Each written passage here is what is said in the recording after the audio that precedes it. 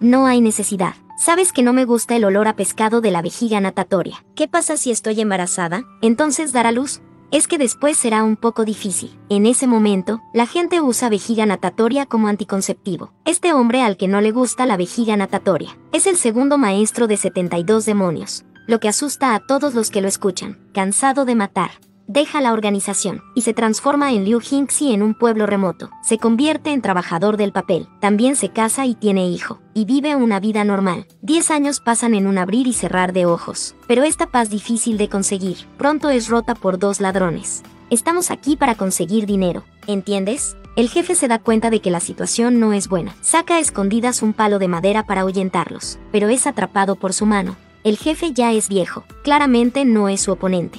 El sirviente a su lado rápidamente toma un cuchillo para ayudar, pero el matón lo patea.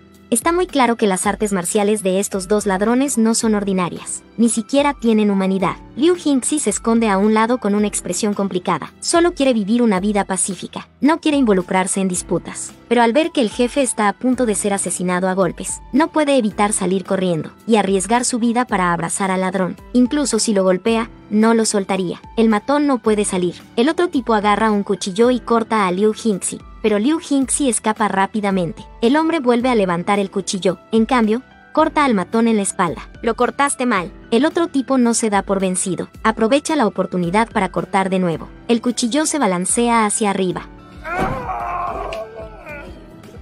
El otro tipo se apresura. Es pateado por el matón. El matón patea locamente a Liu Hingxi volando. El otro tipo aprovecha la oportunidad para balancear el cuchillo, pero no tiene cuidado, se estrella contra el gabinete y muere. Cuando muere, abre los ojos. Los dos salen corriendo. Luchan en el agua. El agua salpica. El ladrón recibe un puñetazo de Liu Hingxi y cae al agua. Es buena suerte matar al viejo maestro. El detective Subaihu reconoce rápidamente la identidad del ladrón. El ladrón de nombre Jan Dongsen, asesinado indiscriminadamente, no tiene humanidad. Es uno de los 10 criminales más buscados pero esta persona con altas habilidades en artes marciales murió a manos de alguien sin artes marciales como Liu Hingxi. Esto despierta la sospecha de Subaihu. Las plantas de los pies no son fatales. Diez dedos no son fatales. Dos pulmones no son fatales. El empeine no es fatal. Quien hubiera pensado que el criminal más famoso Jan Dongsen, es asesinado a golpes por un trabajador de papel extremadamente común? Se debe saber que Jan Dongsen ha practicado artes marciales durante muchos años, incluso si no tiene cuidado. Una persona común no puede matarlo a golpes. Esto hace que Subaihu sospeche de Liu Hingxi. Piensa que Jan Dongsen murió a manos de un maestro de artes marciales de alto poder. Al llegar a la escena del crimen, salvo rastros de combate, se encuentra un diente roto en una botella de vino. Este diente pertenece a Jan Dongsen, que se cayó, mirando los ojos inyectados en sangre de Jan Dongsen. Esta es claramente una lesión debido a un golpe severo en la sien que causa una hemorragia cerebral, que el nervio vago temporal inferior conecta con el corazón humano. Una vez golpeado fuerte, el corazón deja de latir inmediatamente, pero con solo dos puños, interrumpe el nervio vago debajo de la piel. Esta persona debe tener artes marciales extraordinarias. Subaihu comienza a investigar a Liu Hingxi. Después de investigar, descubre de inmediato que Liu Hingxi no es nativo. Según el testimonio del dueño, el apellido original de Liu Hingxi es Gon, es de Gon familia. Su familia es carnicero. Llegó aquí hace 10 años. Después de casarse con Ayo, se estableció aquí. Al escuchar esto, Subaihu sospecha aún más de Liu Hingxi. Al día siguiente, lleva a Liu Hingxi de regreso a la escena del crimen, para que Liu Hingxi pudiera reconstruir la escena. Liu Hingxi actúa honestamente una vez más. Subaihu hace una lluvia de ideas. Según él, Jan Dongsen no pudo escapar de Liu Hingxi, porque Liu Hingxi usó demasiada fuerza, restringiendo todas sus acciones. ¿Y por qué le cortó una de sus orejas? Fue porque Liu Hingxi mantuvo en secreto una de las orejas de Jan Dongsen, para cubrirse, Liu Hingxi pateó el bloque de madera para cerrar la ventana, sin dejar que los aldeanos vieran la situación en el interior. Estaba claro que iba a devolverle el golpe, y el diente perdido de Jan Dongsen es la fuerza prestada de Liu Hingxi para permitir que Jan Dongsen se golpee en la boca. El siguiente puñetazo golpeó el otro lugar del bandido, cerrando la arteria. El coágulo de sangre viaja a través de los vasos sanguíneos hasta el corazón, lo que lleva a la muerte por un ataque al corazón. Luego, Liu Hingxi atrajo deliberadamente a Jan Dongsen al agua. Usó la presión del agua para liberar el poder de sus puños. Luego golpeó el nervio vago debajo de la sien, lo que provocó que Jan Dongsen perdiera la vida de inmediato. Entonces, a los ojos de su Hyu, esto no es un accidente sino un caso de asesinato meticulosamente planeado, pero no tiene pruebas exactas. Imposible.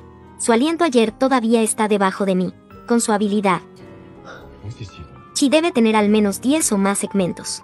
Antes de que pueda almacenar Chi en Dantian, para usarlo en cualquier momento. Solo dos segmentos.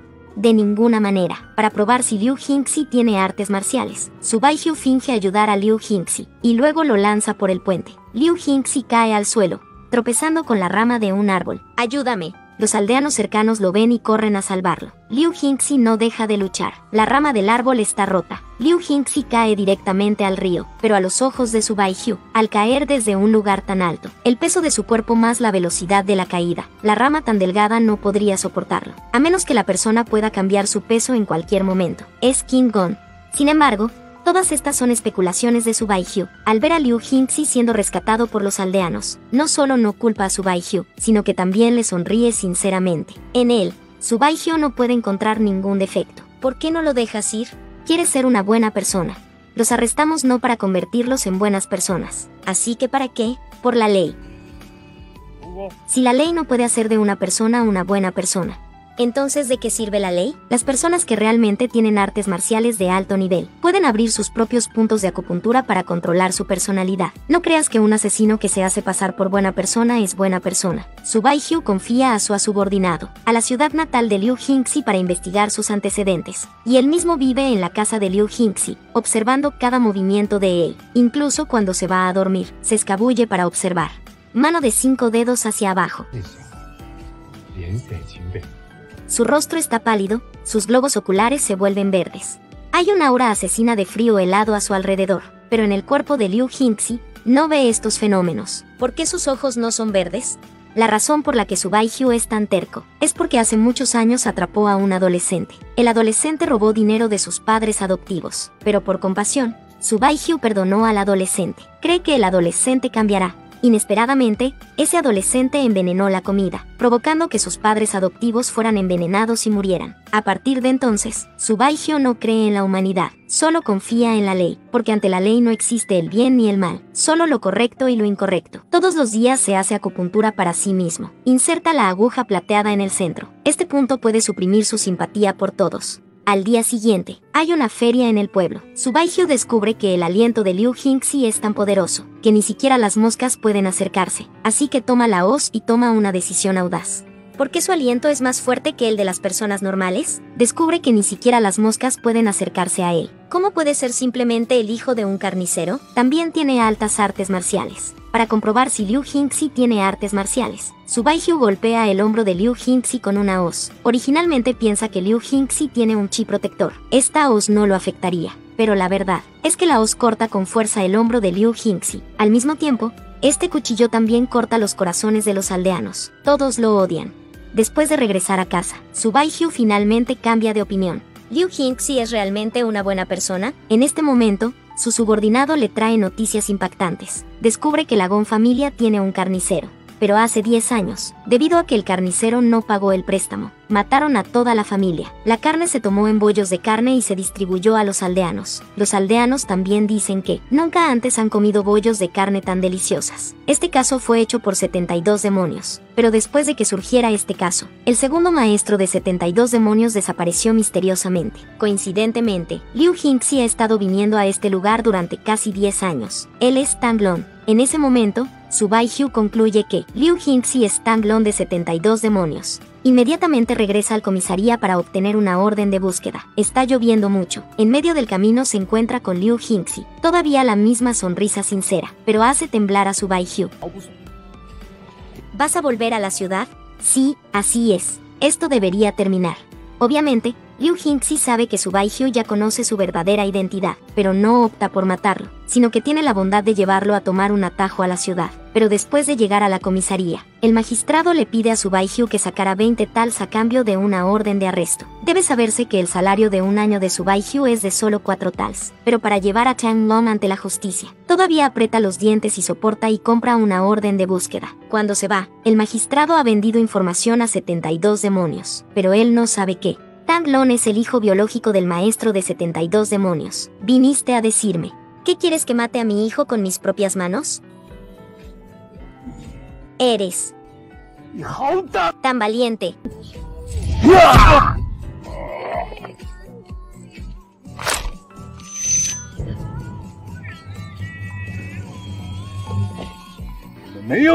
No sois igual a Tang Long. Nadie es igual a Tang Long. La intención del maestro es querer que Tang Long regrese. Al ver la treceava señora, ¿por qué no se arrodilla? Arrodíllate. Soy Liu Hingxi. Liu Hingxi. Soy Liu Hingxi, esta mujer feroz. Es la asesina femenina más poderosa de 72 demons. Treceava señora. Ella viene hoy, para cumplir la orden del maestro de convocar al segundo maestro Chang Long, pero Chang Long decide no aceptar. Solo quiere seguir siendo un Liu Hingxi normal. En este momento, los aldeanos escuchan un ruido bullicioso. La treceava señora pierde la paciencia. La espada en su mano, mata al anciano inocente. No gritar. Liu Hingxi no espera que la treceava señora es tan fría. Justo cuando la treceava señora está a punto de matar a la segunda, una silla pasa volando. Liu Hingxi vuela hacia arriba, pateando a la treceava señora.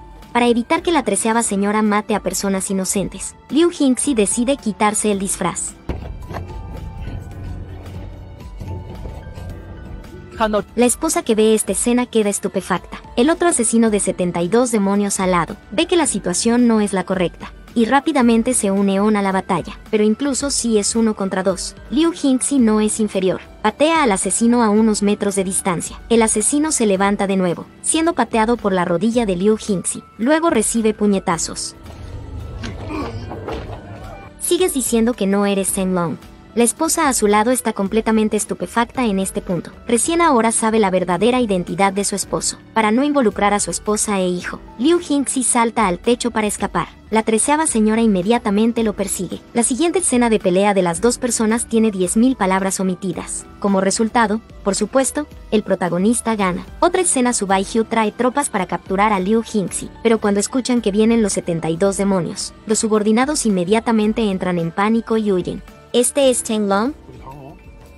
Tang Long de 72 demonios. Definitivamente regresarán. Subai Hyu, esperemos afuera a que terminen de pelear. No, todos se quedan. Si quieres, puedes quedarte solo, te estamos esperando afuera. Esperamos a que terminen de pelear, luego ven y limpia cuerpos. Pero Subaihyo insiste en que arrestaran a Liu Hingxi. Liu Hingxi también sabe que es culpable. Se ofrece como voluntario para ir a la comisaría con él, pero el camino de regreso definitivamente se encontrará con la gente de 72 demonios. Si quieres salir de este desastre, solo hay una manera. Tanglong, debes morir. Subaihyo domina los puntos de acupuntura de cuerpo humano y decide. Yo hace el método de la muerte falsa para engañar a la gente de 72 demonios. Pero este estado solo puede durar 15 minutos como máximo. Una vez que se acabe el tiempo, la muerte falsa se convertirá en muerte real. Al día siguiente, 72 demonios lo persiguen. Al ver esto, Subai Hyu presiona firmemente el punto de acupuntura en el cuello de Liu Hingxi. Liu Hingxi inmediatamente cae en un estado de muerte falsa. El líder que ve el cuerpo de Liu Hingxi está extremadamente triste. Lleva a los hermanos a cantar la canción fúnebre. Subai Hyu no espera que 72 demonios tuvieran esta costumbre de todos modos. Parece que son casi 15 minutos, y aún no han terminado de cantar. Si esto continuara, Liu Hingxi realmente moriría. Sin pensarlo, su Subaigyo inmediatamente se sube al vehículo y golpea a Liu Jinxi en el pecho.